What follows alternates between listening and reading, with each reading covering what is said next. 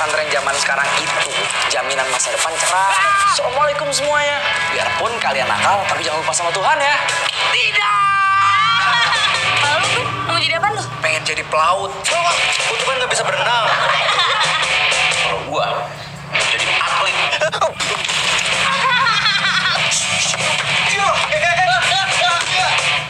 Gue mau jadi polwa. Ayo kita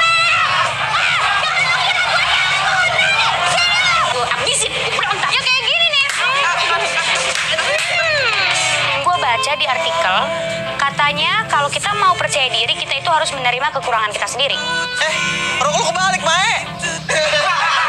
Jadi gue kasih kesempatan ke lu bertiga, sebutin kekurangan gue. Cepetan. Ini jebak nih. Lu apa sih? Si Mae narkoba.